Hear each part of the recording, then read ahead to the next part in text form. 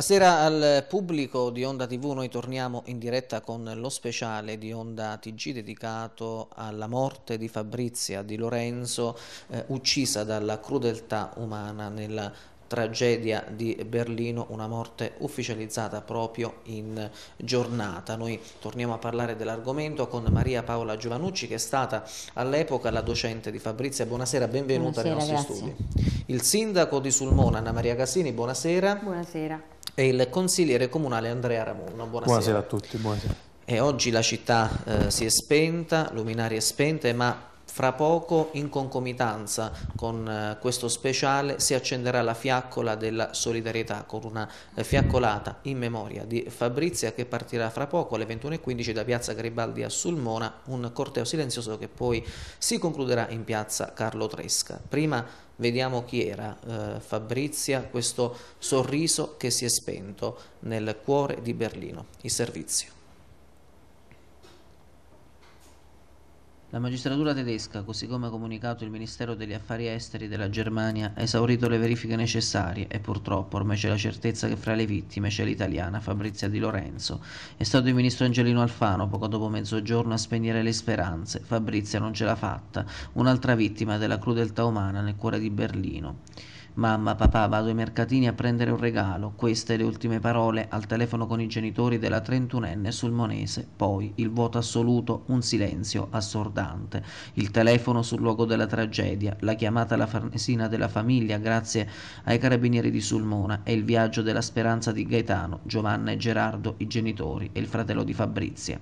La ragazza è una delle tante giovani che sognavano una normalità, un ennesimo cervello in fuga. Laureata all'Università La Sapienza Sapienza di Roma in mediazione linguistico-culturale dal 2009 al 2012 ha preso una laurea specialistica in relazioni internazionali e diplomatiche a Bologna, poi l'esperienza dell'Erasmus in Germania dove ha imparato il tedesco come l'inglese in maniera perfetta e nel 2007 un periodo di lavoro a Vienna. Dopo le lauree lavorò per sei mesi fino a settembre 2012 in Italia, poi il trasferimento a Berlino dove si trovava bene ed aveva trovato anche un lavoro presso un'azienda di trasporti.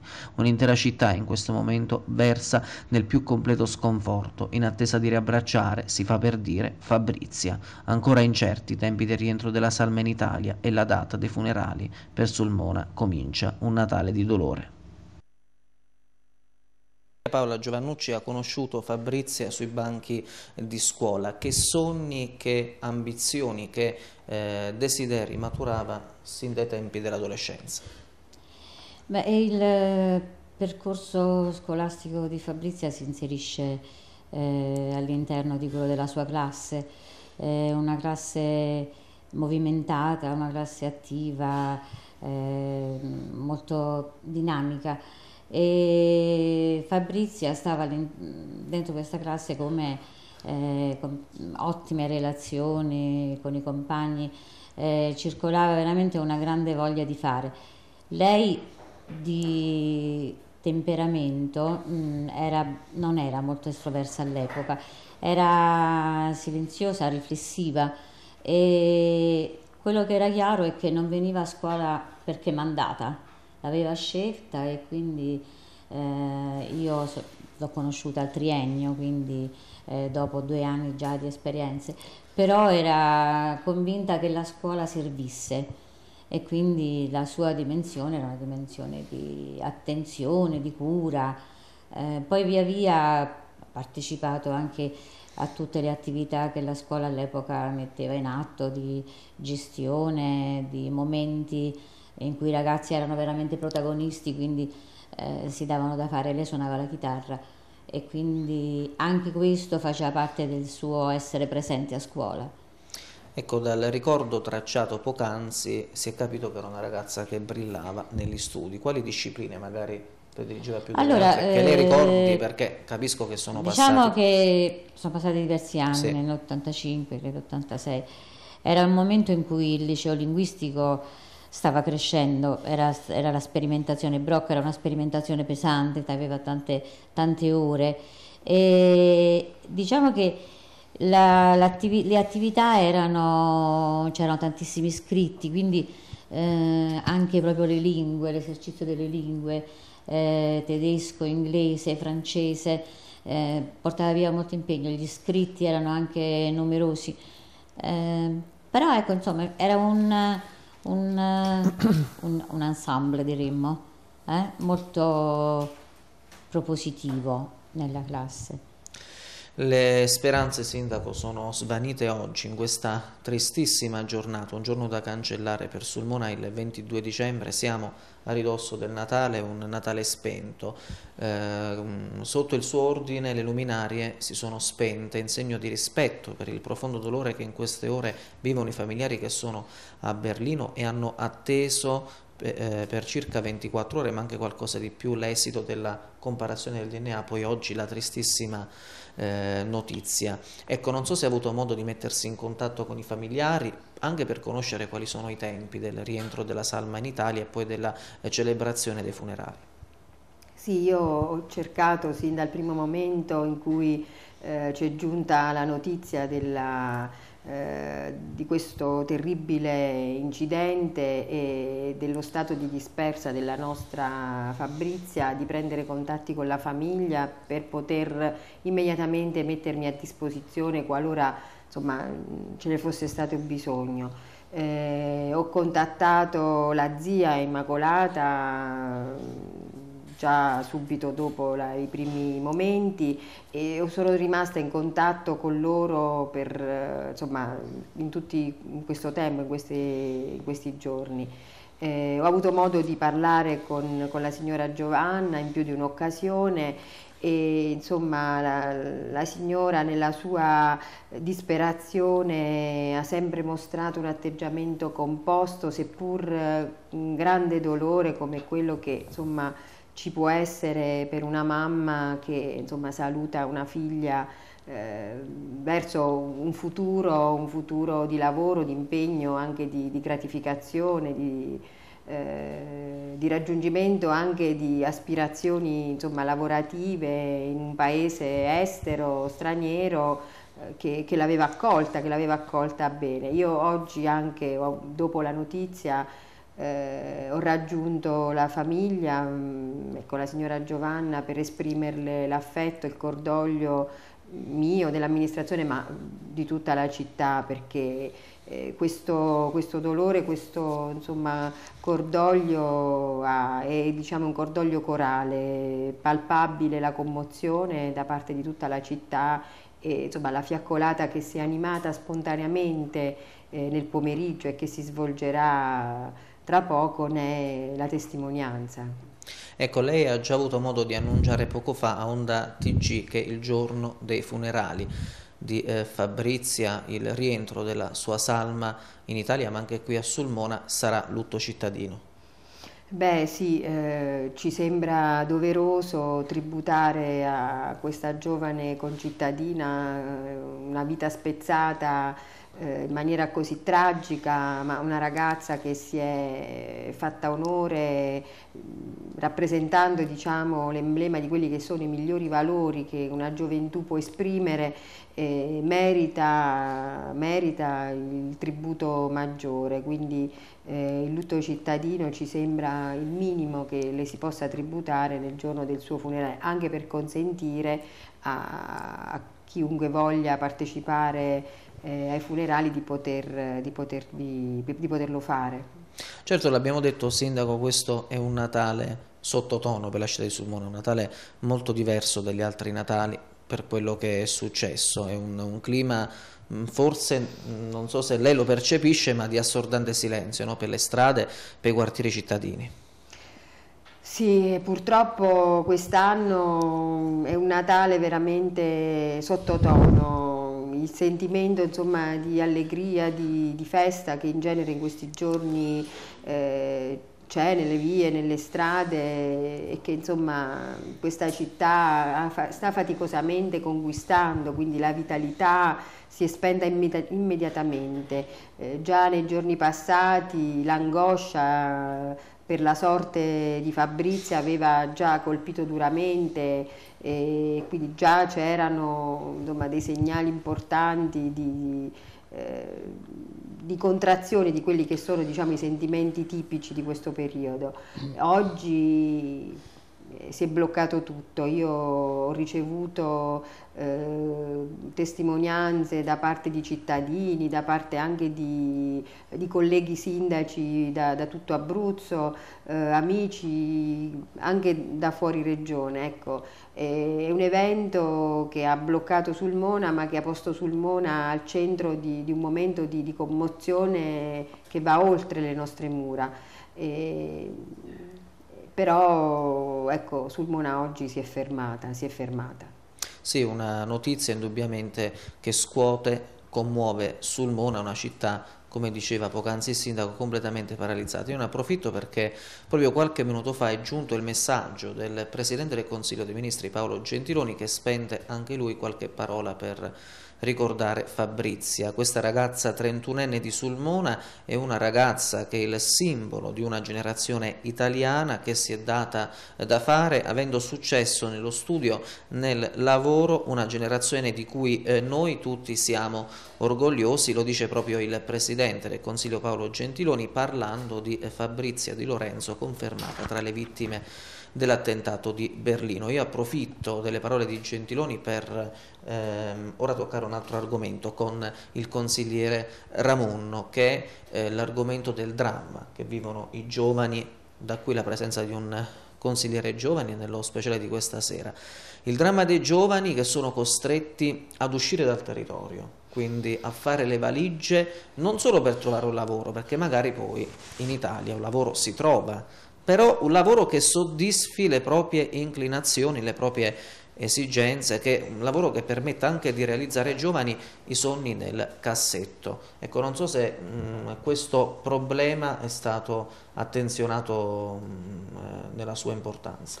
Beh, certo, si tratta di un problema, scusate, si tratta di un problema importantissimo per per quest'Italia e che colpisce in particolare Sulmona che poi eh, risente maggiormente del, del problema della, della, mancanza occupazionale, della disoccupazione giovanile. Sulmona poi ehm, accusa maggiormente il colpo perché la città non offre eh, università, quindi già dopo la scuola superiore eh, persone, i ragazzi della nostra età vanno via da Sulmona. Fabrizia è una di quelle che eh, ha conseguito due lauree, si è spostata da Sulmona per, per studiare e poi ha deciso di, di, rimanere fuori, ma come tante migliaia di, di sulmonesi, perché la nostra città, è, è, inutile negarlo, è terra di emigrazione, persone che decidono di di partire per cercare magari fortuna migliore altrove o soltanto anche, ci sono diverse persone che partono anche per, eh, per volontà proprio di, di esplorare il mondo e di, di, di conoscere nuove, nuove cose. È importante che noi siamo vicini a queste persone. Io stesso eh, sono un, uh, uno studente universitario, ho la fortuna di, di stare qui in Abruzzo, quindi eh, diciamo che sono a pochi chilometri da, da, Sulmona, ma il nostro obiettivo deve essere stare vicino a queste persone che, che, sono, che amano la nostra città, hanno sono persone che l'hanno vissuta la nostra città, sono nate qui e la amano. Proprio sotto Natale le città si riempiono, la nostra città si riempie di queste persone che sono fuori e Fabrizia è una di quelle che sarebbe tornata proprio in questi giorni. L'amministrazione, la città tutta deve stare vicina alle persone che, che eh, vogliono bene la città e che magari hanno anche intenzione di, di tornare. Sì, che poi il rimorso più grande è questo, perché lei proprio c'è stata questa telefonata, la mamma è al padre lunedì prima della tragedia, mamma papà vado a comprare un regalo ai mercatini di Natale, poi il vuoto, il silenzio assoluto. Ma tornando su questa piaga sociale che è quella dell'evasione giovanile, oltre alla mancanza de, del lavoro, vediamo che cosa si dice in piazza con la nostra brevissima raccolta di opinioni e poi torniamo in studio. La tragedia di Fabrizia riaccende riflettori sul lavoro che non c'è, sui tanti giovani costretti a fare le valigie per esaudire i sonni nel cassetto e soddisfare le proprie ambizioni. Fra il silenzio che regna oggi per le strade, le piazze sulmonesi, c'è una piccola voce che ripone l'accento sul dramma giovanile della mancanza di lavoro. È il momento che le istituzioni si pongano delle domande, basta far finta di niente. Non è possibile che un giovane per sfruttare le sue potenzialità debba per forza migrare, incalzano in cori sulmonesi. Sì, ogni giorno combattiamo tra assunzioni che ci sono, promesse di lavoro non mantenute e lavori non ben ricompensati. Ci sono giovani che purtroppo partono e lasciano questo territorio che sta diventando sempre più un territorio per vecchi, giovani che restano qui e cercano di valorizzare questo territorio, di lottare per questo territorio e di far sì che non si dica che l'Italia e soprattutto l'Abruzzo, soprattutto la Valle Peligna sia un paese per vecchi, sia un territorio per vecchi ma è una riscoperta sempre più positiva per i giovani. Assolutamente sì, eh, è triste pensare che con una laurea, un diploma o un qualsiasi titolo bisogna andare all'estero per avere un lavoro. Una tragedia che riaccende... È un dramma questo per noi giovani, soprattutto perché non è il lavoro in sé che manca, perché volendo in Italia qualcuno, qualche lavoro si può trovare. Il problema è che non riusciamo a raggiungere la realizzazione nelle nostre ambizioni. E le ambizioni ovviamente nel campo in cui abbiamo intenzione di lavorare. Perché non c'è spazio per noi. Ormai radicato già da, da parecchi anni che insomma, la questione purtroppo non, cioè, stenta a ripartire e a migliorare la situazione attuale è che sostanzialmente il giovane non è incentivato, è quasi obbligato per, magari per perseguire una, una, professione per la quale ha fatto tanti sacrifici di studi, magari dettati da sforzi economici, soprattutto anche per le famiglie che giustamente li mantengono.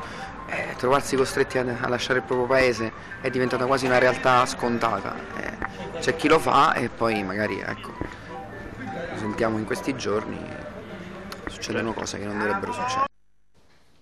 Beh, questo è un po' il risvolto sociale di quanto accaduto. Ecco, ancora con il consigliere Ramunno sui social è il luogo dove eh, corre il dolore, corre il dolore eh, per, per, quanto accaduto, anche i tanti messaggi no, che sono arrivati per, eh, per ricordare Fabrizia, però sempre con il consigliere Ramunno poi passiamo la parola alla, alla docente, c'è stata questa proposta di istituire un'anagrafe per i sulmonesi fuori sede. Ecco, come nasce, credo anche da questo, ma soprattutto che cosa significa, come sarà attuata? Allora, nemmeno a farla apposta, io ho lanciato proprio questa proposta eh, qualche giorno, qualche ora prima della, del, dei dolorosi fatti di, di, Berlino, che poi in realtà eh, si è sparsa la notizia di questi di queste vittime coinvolte, ma all'inizio non, non, non, si, era a conoscenza della nazionalità e della provenienza delle, delle, vittime. Perché è importante sapere quante persone sono fuori da Sulmona? È importante perché, eh, come dicevamo prima, la piaga dell'evasione dell giovanile da questo territorio è molto alta e possiamo dire che fuori da Sulmona c'è un'altra Sulmona che eh, lavora, studia, ci sono anche delle eccellenze, spesso eh, ne parliamo, ne parlate nei TG, quindi eccellenze che sono costrette a lavorare fuori da Sulmona perché ci sono dei territori che offrono altro. E l'anagrafe o registro elettronico, come vogliamo chiamarlo, serve proprio a questo, capire dove sono le persone, chi sono e magari stabilire anche un contatto con loro perché magari potrebbero essere una risorsa per questo territorio perché si tratta di persone che sono specializzate in diversi campi che possono dare il loro contributo a questo territorio che ne ha bisogno, ma soprattutto far, far sentire a queste persone che la loro casa è qui e li aspetta, quindi bisogna stabilire un contatto, farli sentire amati. E, poi come dicevo prima sapere di, di cosa si occupano, quindi un'anagrafe che poi contenga tutti i dati di, di queste persone. E avere magari proprio, eh, questa, una proposta del genere la fece anche il consigliere Ianna Morelli con cui mi sono confrontato eh, in questi giorni lui addirittura pensò ad un assessorato per eh, i residenti fuori città, eh, con magari la, la, possibilità di dare anche dei servizi a queste persone che poi ne, ne hanno bisogno. Quindi questa è un'idea lanciata eh, che, dove, e su cui sicuramente avremo modo di confrontarci e di, di sperimentarla con tutta l'amministrazione. Professoressa, lei voleva parlare perché sì. credo che insomma eh, non ha perso i contatti no? con no, i suoi no, volevo, studenti mm, e poi li ha ritrovati dove? In Italia? Fuori no, volevo Italia? Ah, precisare una cosa. Eh, allora, la classe di Fabrizia, ma anche proprio tutto quel, quel segmento di scuola, no? sperimentazione, li ha fatti, l'idea nostra era che eh, il linguistico fosse veramente eh, una sorta di ponte con l'Europa che si andava mm. collocando. Quindi il sogno di non essere più cittadino eh, di questa città, ma cittadino di un'Europa, per non dire cittadino del mondo, cioè l'idea in cui questi ragazzi sono cresciuti eh, era proprio l'idea dell'apertura verso l'Europa. Il problema sostanziale credo che debba essere comunque riferito alla situazione di, di Fabrizia che si è trovata in questa, in questa dinamica è che noi siamo in guerra, non ce ne dimentichiamo. Quella che stiamo vivendo oggi è una situazione tremenda per cui eh, ci si chiede eh, dove potrebbe essere la nuova tragedia, perché eh, non dobbiamo dimenticarci che Fabrizia è vero che stava fuori dalla sua Sulmona ed è anche vero che i nostri ragazzi forse amano Sulmona, ci metto anche i miei figli che amano la loro terra perché qui sono cresciuti, qui sono vissuti, però è anche vero che eh, questa Europa non ci deve far paura. Berlino era, è oggettivamente una delle capitali europee vivibili, è a misura d'uomo, è una città che ha fatto, è un luogo che ha fatto dei passi da gigante rispetto alla sua storia pregressa. Quindi è un luogo dove i ragazzi aspirano ad andare e di, di ragazzi di Sulmona che vivono a Berlino ce ne sono tanti, come ce ne sono tanti i nostri alunni che stanno a Bruxelles, che stanno a Londra. Voglio dire, questi ragazzi sono cresciuti, sono sviluppati anche con un'ottica che va oltre lo spazio di Sulmona Ora la, la, tragedia qual è? Che quando tu senti la notizia no, in televisione, a, eh, Berlino è lontana da qui, no? per cui ci, chi ci sarà? Pensi ovviamente a quelle vite perse. Il dramma è nel momento in cui c'è questo riconoscimento certo. che fra queste vite c'è anche la tua alunna, eh, quella con cui sei vissuta per tre anni di seguito, cui, che vedevi quasi tutti i giorni e capisci che una parte di te non ci sta più perché con lei se ne va anche una parte.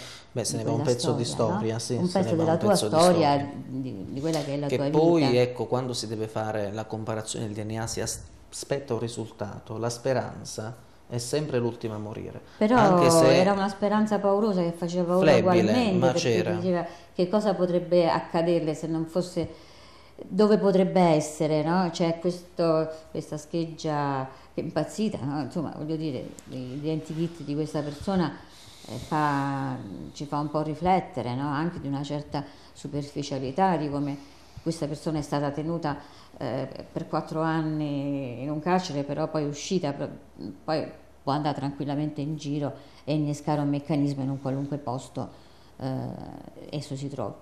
Quindi è, un, è una dimensione veramente di globalmente no? che è veramente assurda e, e dolorosa. Beh, sul fatto che i giovani amano, eh, amino l'Europa, forse è anche il caso di Fabrizia, tant'è che il Presidente del Senato Grasso l'ha ricordata oggi proprio con queste parole, una sì, eh, straordinaria cittadina europea.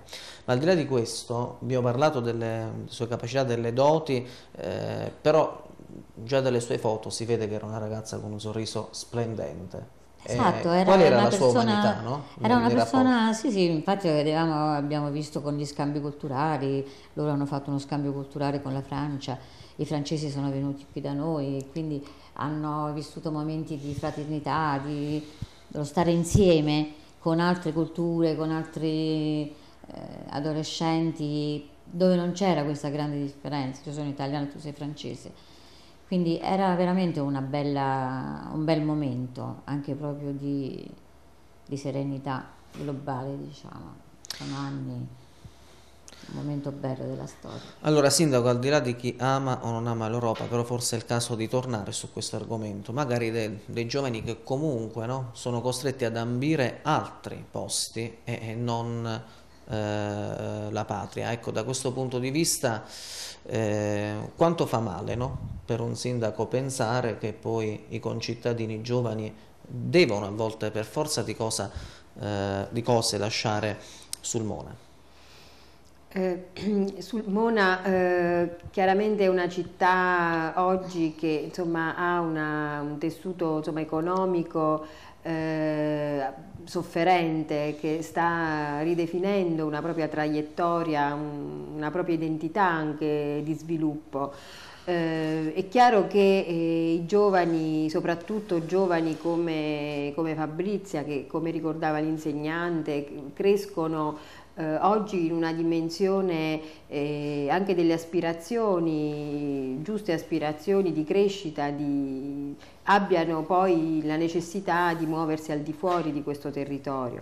E questo territorio, come dicevo, deve ritrovare una traiettoria, si deve ecco, cioè fare in maniera che Sulmona eh, venga valorizzata come città europea, cioè appunto perché eh, solo così riusciamo a dare quelle risposte a quei giovani che oggi eh, sono cittadini europei, hanno diritto anche in Abruzzo, anche in un'area interna, di poter soddisfare le proprie aspirazioni.